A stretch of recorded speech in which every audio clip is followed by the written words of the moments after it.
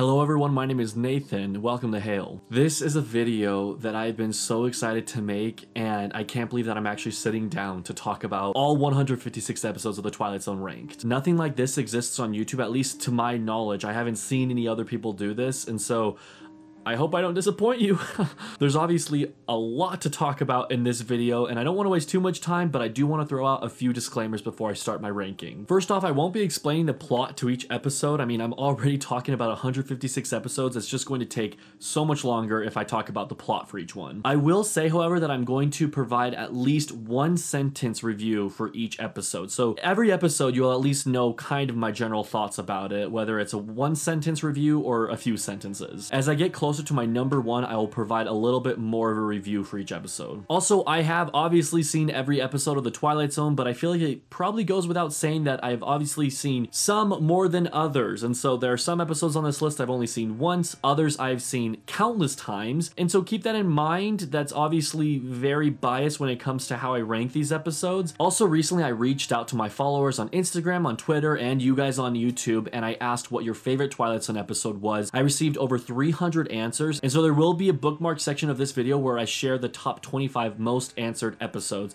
for what your guys' favorite episodes were. Finally, I do have to say this is all my opinion. It's just solely based on how I feel with each episode. I base my ranking on a few factors of the Twilight Zone and how I feel about each episode. This includes the story, the execution of the story, the themes, the performances from the actors, the characters, the ending, as well as the cinematography. And I'm sure there are more factors as to what makes it a great episode and what makes it an okay episode, but for the most part, those are the big things that I'm looking for in these episodes. Also, I want to share a quick background as to how I discovered The Twilight Zone, why I love it so much. And so if you already know my story, you can just skip to number 156. I don't know if my story is that exciting, but I'll just flat out say that I discovered The Twilight Zone from the Tower of Terror ride at California Adventures in Cal California. Got myself my bellhop hat right here that I really want to just wear for the rest of the video, but it just doesn't, I just don't have a hat head, you know? Maybe if it was like a little bit more fitted. Anyways, it was such a creepy, eerie ride, and it was only then that my parents told me, oh yeah, you know this is based on a TV show, right? For the longest time, I thought that the Tower of Terror was an actual episode, and I was really disappointed when I found out that it wasn't. I found out about the Sci-Fi Channel's marathon that they do every New Year's Eve and New Year's Day, and since then, it's just become a tradition in our family where we'll just have it playing in the background, whether we're sitting down and watching the episode or just letting it play in the background. Twilight Zone is a big deal in our family. We love the show. I have grown to love it in the years since discovering it, and it was only this last September that I finally finished the TV show. So it was a 15 year journey, and I could have finished it much sooner, but I kind of liked prolonging it and always knowing that there are episodes out there that exist that I still haven't seen. However, I have seen them all now, and I love it. It's my favorite TV show of all time, and so you better believe I am stoked to talk about all 156 episodes. So this first category of episodes I'm going to show are the ones that I don't think are that good. I mean, I still like them at least a little bit because they're the Twilight Zone, but in my eyes, these are the bad episodes. And so let's just get started. My least favorite episode, number 156, Mute. Its cheesiness really hurts it, and the long season 4 runtime does not help either. I didn't like Horace, and therefore I don't like Horace Jr. Also, season 4 runtime. It's amusing watching poor Elwood be controlled by Agnes, but it's also just really dumb. Next up, we have a category of episodes which I just find decent, or on my channel, I say Dece for short. It's really dumb, I know. But anyways, they're not awful, but they're not good necessarily. They're just like fine. Number 153, I Dream of Genie. It's so average. I mean, we've seen the Genie tale before, and this one unfortunately just doesn't stand out amongst the others. Bartlett Finchley is just super unlikable, and the episode is really silly. According to my knowledge, knowledge, there were six episodes of The Twilight Zone that were filmed on videotape, I think it was. And so it looks like it's a soap opera episode. It The style looks very strange. And in some ways, it's a con to the episode, but in others, it works okay, I guess. But with Static, I wasn't a big fan of it. Grumpy Ed hears radio shows from the past, and if there's one thing this episode really touches on,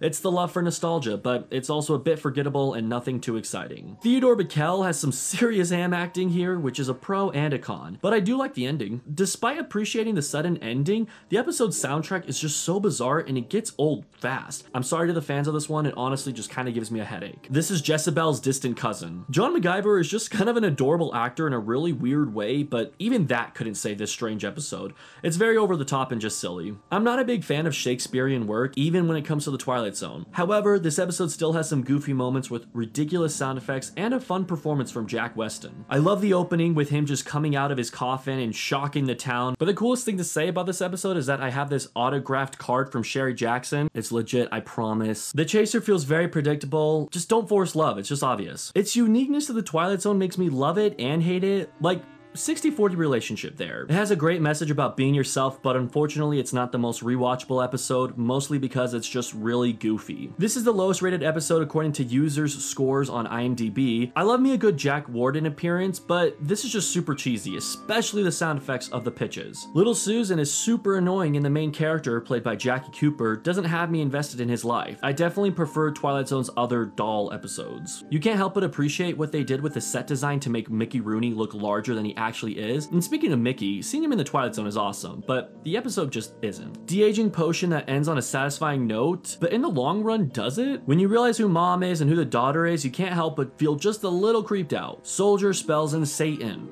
Welcome to the Twilight Zone. I feel bad for the professor. Like, dude, just let him work on his time machine. I like the idea of leather jackets being invaders and they're all just hidden in our society, but the episode is just cheesy with the telepathic powers and zoom-ins. Warning, we've got another soap opera episode. It feels different from its soap opera filming, and if anything stands out, it's definitely its sad ending. The names Uncle Simon calls his niece are so overly done that it's kind of hilarious. The masks used to look like Archibald Beechcroft are horrifying, but also good on them. If someone was yelling yelling at me furiously in a black cape, I'd run too! A piano that forces you to tell the truth is both cruel but satisfying for Fitzgerald's end. I love seeing boxing in black and white, and this episode is clever enough, but it doesn't stand out in the long run. Miranda sings and great value It's a Wonderful Life. What a sweet episode, and it's very cool to see an African American led cast too. It's just your good old fashioned taste of your own medicine episode. The ending is very clever and made me smile, but everything else is just, mm, eh, you know, yeah. A cool concept of whoever wears the shoes comes back as Dane, a man wanting to get even with a competitor. This episode shows exactly what most people would want to do if they had mind powers. I really like the ending though. It's satisfying and it's just kind of makes you smile. A haunting in mother-in-law's house. The monster looks really dumb, but that kind of makes me like it more. This is the first long episode that's actually engaging and has a good twist. Dear Twilight Zone, had you ever heard of this movie called Sunset Boulevard? You would be great friends. Jean Carson's voice just really annoys me. Woman falls out of window. Man falls out of window. You can't change the past, Buster. I loved the eeriness and the foggy roads. Got another soap opera camera, plus really cheesy acting. But cool concept. I really like the story to this one, and hey, hey, look, it's Peter Falk. This is a more comedic episode, which I'm not as big of a fan of, but it's still a fun time. Okay, now we're in the collection of episodes that I consider good. So they're better than decent, but they're not yet great. The Long Morrow. This is a sweet story that reminded me actually of the 2014 film Interstellar, but it's just nothing too amazing. I love the way this episode is filmed with the mirror reflection and two personalities. Elizabeth Montgomery in Twilight Zone, woo!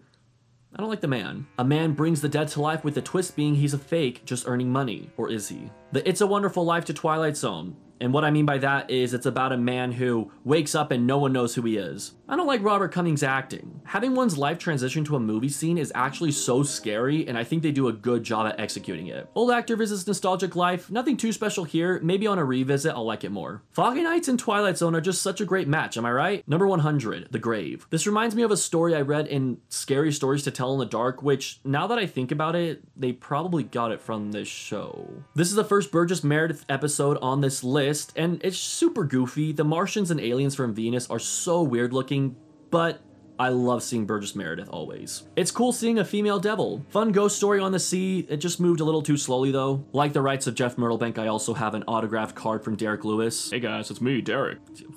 Sorry. Renard is just such a tool that it's hard to like this episode as much. It's a fun fortune teller concept though, and the hit and run scene at the end is edited in a very funny way by today's standards. I love this concept. I mean, a car salesman is forced to tell the truth. In the long run, it's a very minor episode, but its justice is very welcome. An episode about time that I actually enjoyed quite a bit. There's nothing spectacular here, just a solid Twilight Zone episode about Fitz, a man who can predict death. I also liked the ending too. This episode definitely changes your perspective on war, and for that, I think it's good. Immortality meets the Twilight Zone. It's a fine episode, but kind of forgettable. Thomas Gomez is a big standout. He's the best part of this whole episode too. This episode goes from one main plot to a twist that changes the whole entire episode, and for that, I tip my hat. It's good by season 4 standards. It's a classic Twilight Zone episode of a man switching dimensions. I mean, doesn't that just scream Twilight Zone?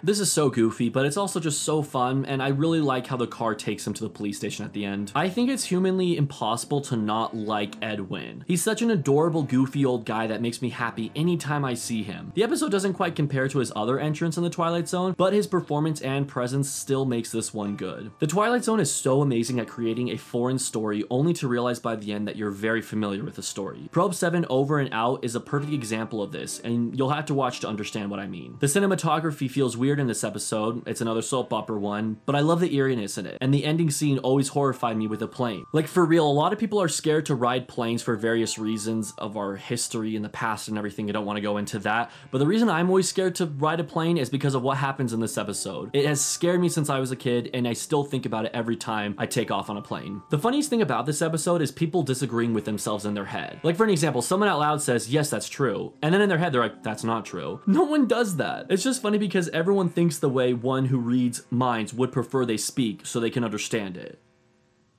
A man sells his soul in exchange for immortality, and then of course he gets a life sentence in jail. Come on, this is great Twilight Zone. I like this one because of how it all connects together in the end. The episode isn't too exciting, but it has a great ending and a powerful conclusion for Decker's character who was once a coward but dies a hero. I love the execution of this episode. It's the classic don't get too deep in a lie because eventually it'll catch up to you trope. The final shot of the four faces is the most memorable thing for me from this episode. Uncle Ben is in the house! This is the best dummy episode from the Twilight Zone, and the ending is honestly honestly pretty unsettling. This one offers a number of exciting moments. Though it has a slow start, I love seeing the dinosaurs. And the final conclusion of getting back to the future is an iconic Twilight Zone ending. The town drunk given the role of hero. I like the final showdown when the two characters realize they've both taken the potion. I love the meta humor in this episode. Rod Serling is totally called out. The best quote is when he says he's apparently in control of the Twilight Zone. Number 75, one more pallbearer. Joseph Wiseman has a little bit too much ham acting for my taste, however, I still enjoy what this episode gives me. All right, my next pick is the most controversial ranking of this whole entire list. Please don't turn off the video after you see this. Number 74, to serve man. I realize this is a fan favorite, and the cookbook line is no doubt one of the greatest lines to come out of Twilight Zone. But I just find the Martians to be so cheesy. I can't take them serious. But I still do appreciate the episode because it's Twilight Zone. This has a fun little twist. Other than that, it's a bit of a forgettable episode. Mr. Pip is definitely the best in this episode, especially his mischievous laughing throughout, and the ending is just iconic. There is very good dramatic acting here. Alright, we are now in this section of Twilight Zone episodes that I deem great. The Little People. It may be a little cheesy by today today's standards, but Twilight Zone cheese has never bothered me, unless we're talking about Mew. This episode has a lot to say about power and the dangers of letting it get to your head. This is an episode I remember watching as a kid, so it's a bit more special. The plot is intriguing and the episode is actually pretty sad. Plus, we get a great performance by Jack Warden. Nothing amazing here, but still enjoyable. The propeller scene is very intense. The coolest thing about this episode is the idea that small towns like this actually exist, and it makes you wonder what dark secrets each one holds. I can't quite grasp the dislike for this episode. It touches on so many Christianic themes, and the ending reveal of just what the gift is makes me like it even more. Robert Duvall really makes this strange season 4 episode much better than it should be. His performance makes me care for him and just want what's best for him too. It's a little sappy, but it's also just such a heartwarming story. And plus, it's an interesting one too. It's just a great entry to the Twilight Zone where the whole episode you're wondering where they are and how they got there and how it's going to end. I don't care what you say say I like this one. It's so funny to watch the character make up all his lies. Trust me, I'm completely aware that this is among the goofiest episodes of The Twilight Zone, but I just have such a fun time with it. This was an unexpected surprise. I really like the storyline of being two places at once and one version trying to save everyone. This is one of the best episodes to come out of season 4. Burgess Meredith makes a great addition to the Twilight Zone Devils, and this episode is just a good time overall. Super sweet episode that has a happy ending, which is always nice in the Twilight Zone. A very clever idea that is both well executed and even a little creepy. It's cool seeing Roddy McDowall, and there's also a great twist here. This is the Twilight Zone's interpretation of being damned. The concept was incredibly clever, however, the execution was different than any other Twilight Zone episode. And it's mostly because it was actually created by the French and then purchased by Rod Serling to feature in the Twilight Zone. Although it's very unique, it totally belongs in the catalog of Twilight Zone episodes. I really enjoy this one. It's a really scary concept, living in a world where everyone is alike. It scares me just thinking about it. This one will frustrate you, but it also proves that history has to play its role. It was still still a fun episode to watch, and I also liked how him going back in time still had a minor effect on the future he returns to. This is one of my earliest exposures to the Twilight Zone. The other side is so eerie, and the camera angles play a role in making it that way. Back when the Tower of Terror was operational in California Adventures, I remember there being an Easter egg for this episode while you waited in line. There was actually a drawn out circle out of chalk, and if you listened to the wall, you could hear the little girl from this episode calling for her parents.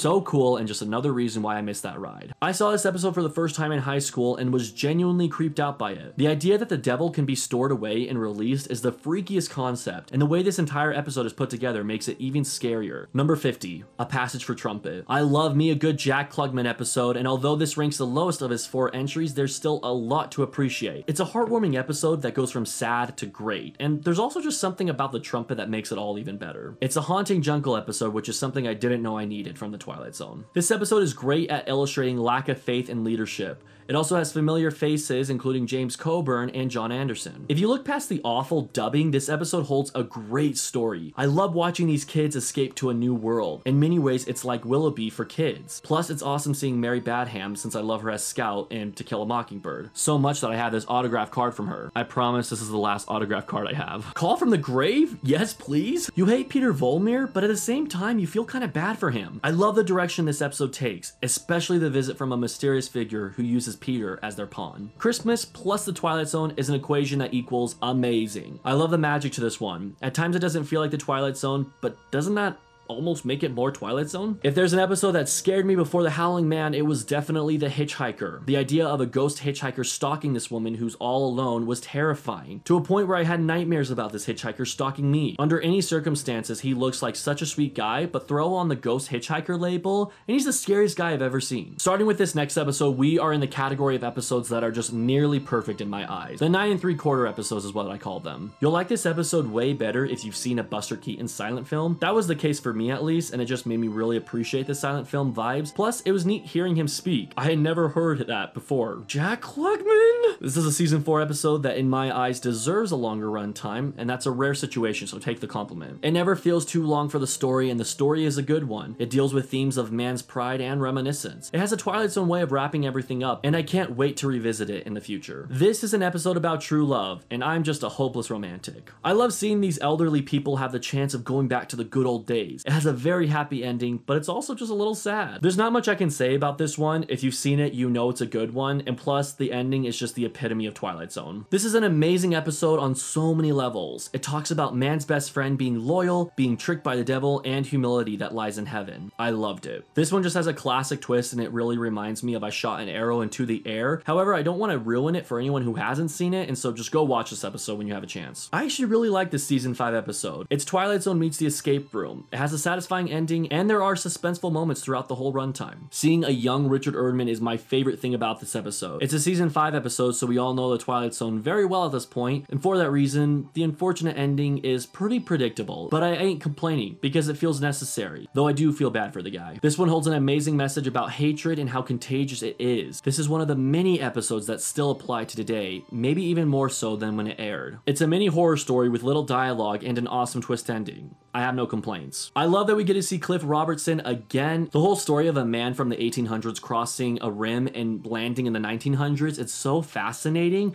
And also the moral of the whole story is just so heartwarming too. This one has impressed me since the first time I saw it. The twist was unexpected and the realization of the twist makes the episode that much more impactful. This is another entry that just creeped me out when I was younger. Wax figures are creepy as is, but when you throw in that they're wax figures of famous murderers, it's horrifying. The casting is all well done too, from the wax figures to Martin Balsam. But come on, he's been good in anything I've seen him in. This is my highest rated episode of season 4, and it definitely deserves to be this high on the all-time list. James Whitmore is so young and great here. The episode reminds me of The Man in the Cave in the sense of a community following a leader based on faith, but it excels with its story and Twilight Zone ending. Watching Eric, a dirtbag of a character, be mocked and teased by a small doll is so amusing. Yes, the episode is creepy on the surface, but when I watch it, I'm more entertained than anything else. It's just so fun watching this battle between a man and a doll. My favorite quote from this episode is, It's because you're men. And when there's men, there's no peace. Not only my favorite quote from the episode, one of my favorite quotes from all of Twilight Zone. All right, if you're still here, let's take a little break and talk about your 25 favorite episodes from the TV show. So some quick facts, I threw in all, I think it was like 317 answers I got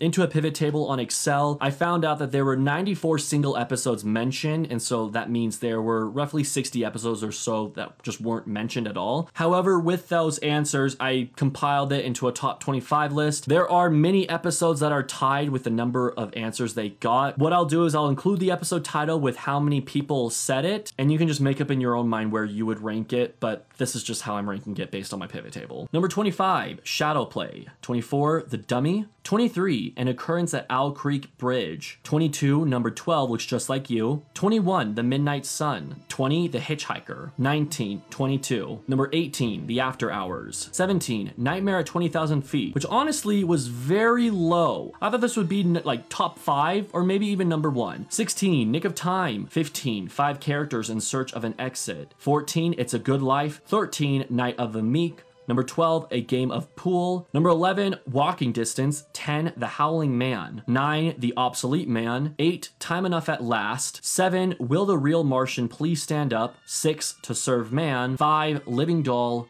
4, A Stop at Willoughby. 3, The Masks. 2, Eye of the Beholder, and number 1 with 16 answers, The Monsters Are Due on Maple Street. To all who participated in answering that, thank you so much. I just love hearing your guys' thoughts on the Twilight Zone and on anything for that matter, and so I'm really happy that you participated, and I hope you agree with yourselves. But let's continue on with my top 25. Starting at number 25, these are the episodes that I deem just perfect. I have no problems with them. Every time I watch them, I love them or I get something new out of them. They're just great in my mind. Number 25, Shadow Play. Being trapped in a reoccurring nightmare, that's the nightmare that this episode is, is so horrifying to think about. But one detail I really like about this episode is how every nightmare that happens, the roles are switched. One night in the nightmare, a character could be a jail mate. Another night, that same person could be the judge. It's just really well crafted and very scary too. 24. The Man in the Bottle. I just totally dig this one. I mean, it's predictable in the sense that the wishes will go wrong, but I love what I got out of the episode. There are creative consequences to each wish. There's not any wishes where it happens and it's just kind of like a dumb wish. A wish happens and then something bad happens out of it, and you're like, oh, that was a clever little twist there. I mean, you know the twist is going to happen,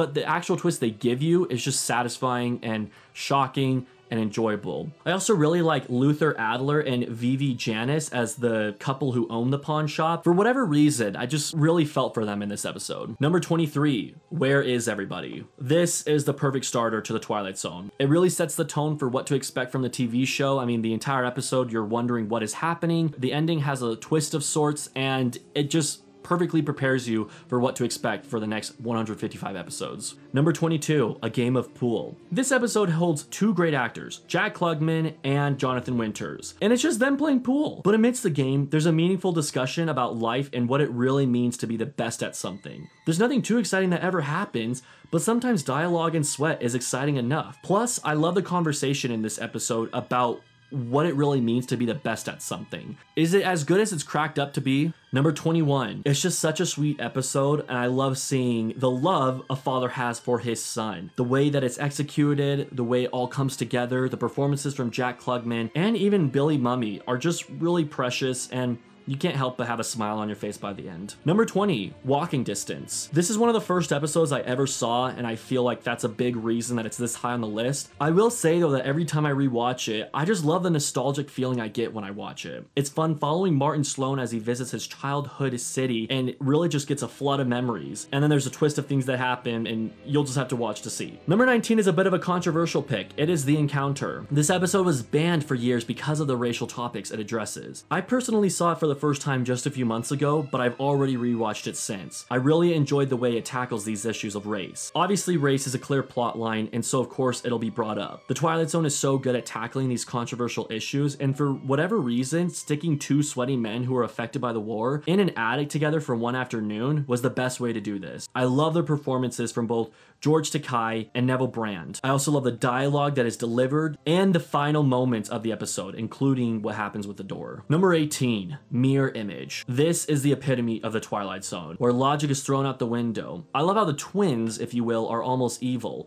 always smiling and almost taunting the main characters, especially when she's about to board the bus and you just see her other half smiling in her chair. It's very eerie and the ending is awesome too. Number 17 is Nick of Time, and this episode is just so fascinating. There's nothing too exciting that ever happens, there's no big twists or anything crazy like that, but it's just a good watch seeing this young married couple get obsessed with this fortune teller. Number 16, Nothing in the Dark. Young Robert Redford is amazing. This plotline is so intriguing to me. An elderly woman constantly cheating death. I mean, so well that it's gotten to a point where she doesn't even leave the house. When she's faced with deciding whether to help this young man dying in the snow, it makes it all the more unsettling to watch. I love the uncertainty with this episode and the ending. Number 15, Will the Real Martian Please Stand Up? This is just a great whodunit episode, and I especially love the setting of it. It's in a snowy, remote area, a bunch of strangers just simply trying to find out who amongst them is not from this planet. Number 14, It's a Good Life. This is the highest rated Billy Mumy episode I have on this list. He was in a few episodes, but this is definitely my favorite with him. I think what I like most about this episode, other than the fact that the monster depicted is a little boy, is that you get to see a first look at what it's like to live in fear 24 7. It's scary to think about these people's positions and how they have to live life with this monster of a child every day and just constantly pretend that they're happy and that they're there for him, although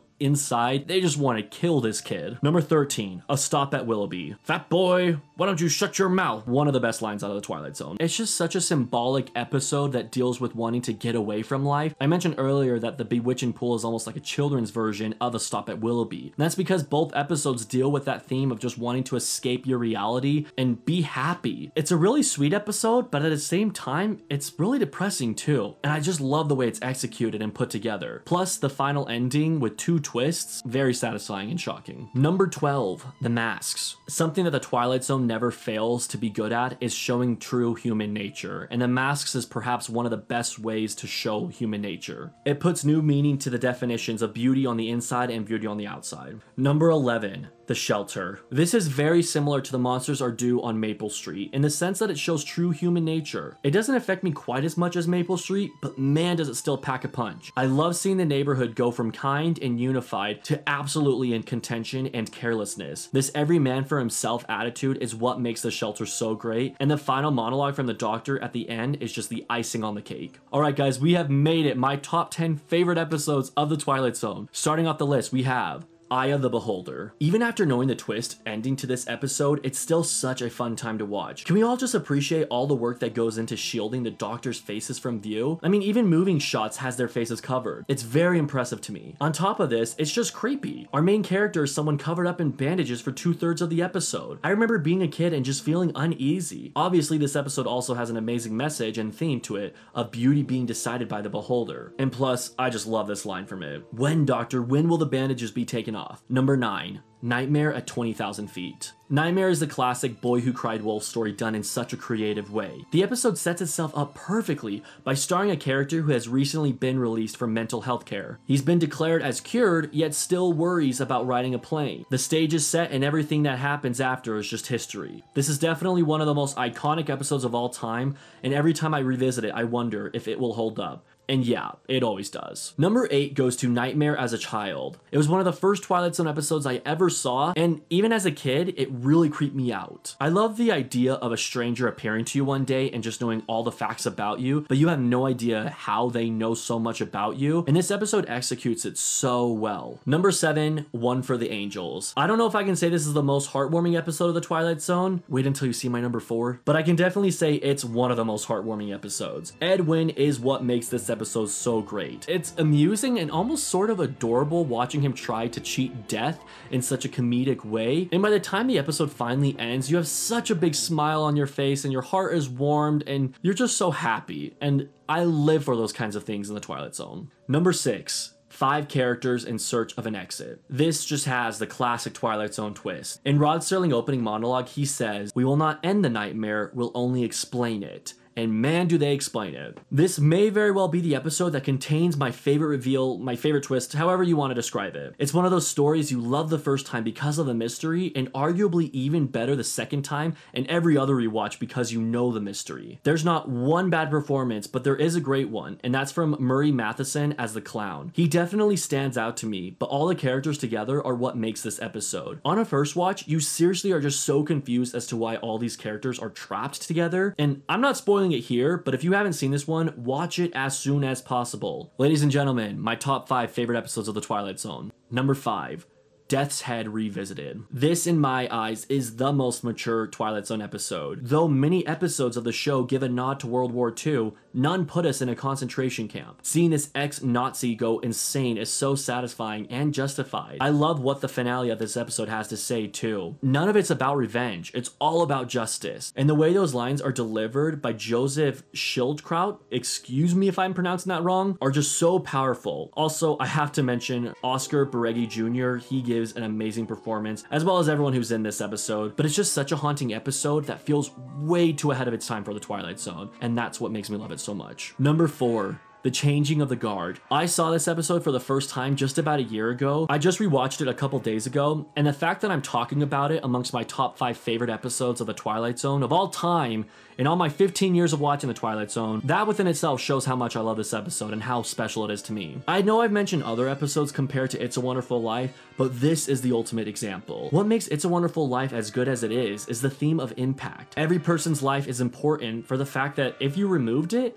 it would affect everything and everyone around you. The Changing of the Guard uses the same theme, but with a teacher and his students. And yeah, it's really good. Not just for its themes, but also Donald Pleasence's outstanding and emotional performance. And plus, I absolutely love the Christmas setting. Number three, Time Enough at Last. Burgess Meredith's zany acting and fun character is such a joy to watch on screen. This has a true Twilight Zone ending, and it may even be the best one. It's the same ending that traumatized my little sister from watching The Twilight Zone, that's been referenced in countless pop culture items, and it's the epitome of a cliffhanger. It's really unfortunate too, like you love this character the entire episode, and then the ending happens, and you're just really sad. I can see why my little sister was so traumatized after watching this episode. But for me, it's just a perfect example of what Twilight Zone has to offer, and if I'm ever showing people The Twilight Zone for the first time, I feel like this is one of the first episodes I tell them to watch. Number two, the monsters are due on Maple Street. My favorite quote of this entire episode is, We'll let them destroy themselves. If you don't believe in perfect, watch this. I love everything from the opening monologue to the closing monologue.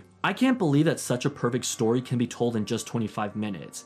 I mean, it seems like a whole movie could be made out of this, but then again, that might tarnish what's so special about this one. I already mentioned how incredible The Twilight Zone is at showing real, accurate human nature, and here it's painted in the small community of Maple Street. When monsters are declared to be amongst the neighbors, everyone's finger is pointing, and no one can be trusted. To see how fast a small community can turn against one another is what makes this episode as good as it is. Man is their own greatest enemy. My favorite part of the entire episode is the final five minutes of Havoc yelling, close up shots, violence, and anarchy. Then the reveal at the end is just the cherry on top and makes the story that much more satisfying and endearing. And isn't it sad that 60 years later, this episode feels just as applicable as the night it aired? No battle is necessary for extraterrestrials. Just leave the people alone together and let them destroy themselves. And my favorite episode of all time from The Twilight Zone is The Obsolete Man. Not only is The Obsolete Man my favorite episode of the entire TV show, it's the first episode I ever saw. I remember sitting down New Year's Eve and watching The Twilight Zone for the first time, and it opened with The Obsolete Man. Now, if you recall, the episode opens with Burgess Meredith's character walking into a room where there's a courtroom setting, there's people watching him, a ginormous door, and his shadow is just spread in front of him. Being the eight, nine year old kid that I was, I thought that this was going to be how every Twilight Zone episode began. I thought that these people entered a room and that was what made them officially in the Twilight Zone. Obviously, I found out by the second time I watched an episode that that wasn't the case, but it's always stuck with me that in my mind, that's how the Twilight Zone always began with these characters, these people walking into this room, and oh man, now they're in the Twilight Zone. The more I see it, the more I love it. It really is like Fahrenheit 451 but even better. You can take just about any quote from this episode and apply it to today. It's that powerful and it's that rich in themes. It's just timeless. The camera angles are eerie. We look down at the characters, which establishes a sense of seniority. On the contrary, we look up at the characters as if they belittle us. The symbolism is as present as ever. The main character being a librarian named Mr. Wordsworth, that just says enough. Speaking of Mr. Wordsworth, I just love him. I love his courage and I like to think about his life up to this point, the life that he lived, the lives that he touched. I love what he stands for. He's so wise and confident. Burgess Meredith gives a fantastic performance. The moments with Mr. Wordsworth and the Chancellor shared in that room where he will be executed are so powerful and the best moments of the episode. But it's also hard to identify a best part of the episode because I think the whole thing is the best part of the episode. Does that even make sense? The whole thing is just perfect to me. The ending is eerie too, and yet it's super satisfying. I've seen every episode of The Twilight Zone, and The Obsolete Man, without a doubt, is my number one. There you have it all 156 episodes of The Twilight Zone ranked. I'm going to challenge you, if you dare, to comment your 156 episodes ranked. And if you don't, I understand. I realize that you're not all as crazy as I am. At least give me your top 10. That, that gives me something to work with, right? If you want to see a more trimmed down version, I do have top 10 episodes for each season out on my YouTube channel in my Twilight Zone playlist. However, I will say that you won't see the same rankings in those videos as you did in this video, because this is my up-to-date Twilight Zone ranking as of Halloween 2021. By next week, I could rewatch an episode and the ranking spot could change on the list. If you haven't seen the Twilight Zone and you watch this whole entire video, major props, but also watch the Twilight Zone. Yes, it was made in the 50s and the 60s, but if you got anything from my video, I hope that it was the show is timeless. There's a reason so many people praise it the way they do because there are so many episodes in it that still apply to today. It's just an absolutely perfect show, my favorite of all time, and I'm so excited to just keep on watching it. Thank you guys so much for watching. Have a great day. And happy Halloween!